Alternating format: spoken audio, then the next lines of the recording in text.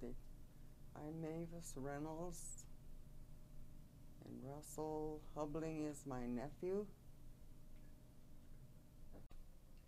Uh, Mavis, what relation are you to, uh, to Russell? Russell is my nephew. And why did you come here today?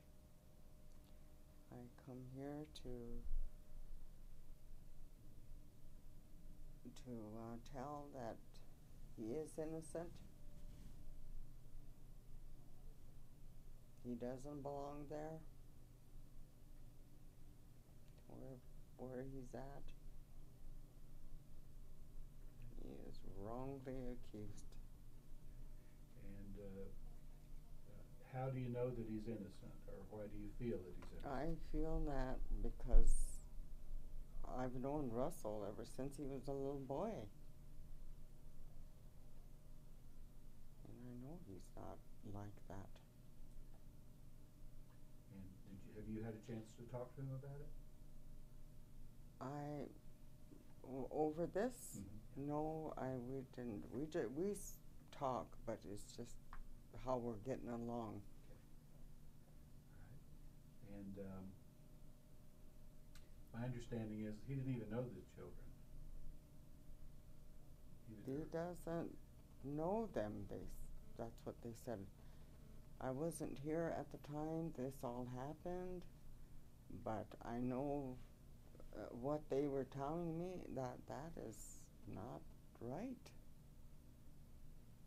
There's something wrong with them, you know, to accuse him of something that he didn't even do. Well, it's definitely wrong. Um, how has this affected you? Well, I'm getting old and I'd like to see him.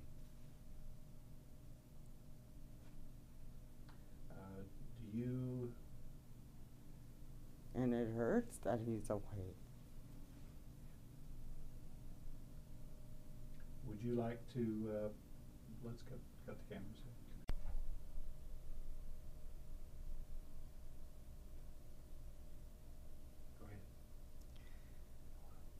Mr. President and the governor, these Russell Hubling is in there, which he never did do anything. And it's hurting the mother and me.